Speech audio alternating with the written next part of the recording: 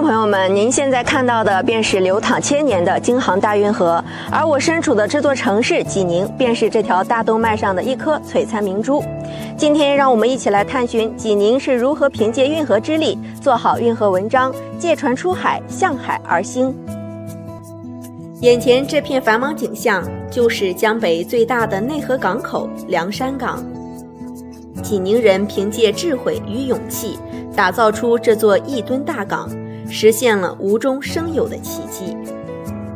瓦日铁路与京杭运河的无缝对接，构建起公铁水多式联运体系，使济宁突破地理限制，通江达海，成为西煤东输、北煤南运、南货北调、集装箱运输的重要节点。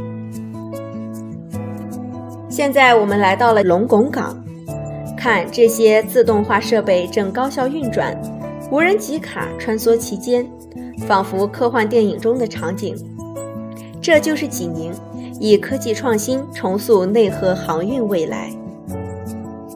济宁是智慧港航综合调度指挥中心的启用，构建起其智能管理、服务于一体的港航生态，让决策更精准，运营更高效，服务更便捷。这里是全国首个新能源船舶制造基地，一艘艘绿色智能船舶正在这里诞生。它们不仅代表着济宁船舶制造业的绿色转型，更预示着京杭运河水上服务区的全新面貌。济宁能源船舶以新制胜，引领行业绿色转型。首艘八十米油气加注趸船的成功下水。为过往船只提供清洁燃料与便捷服务，为运河增添一抹绿色生机。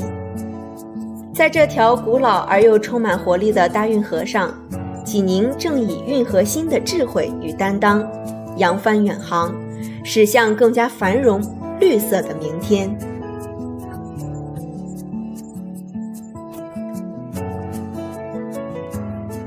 观众朋友们，这就是济宁，一座以运河为魂、以创新为翼、以绿色为基的城市。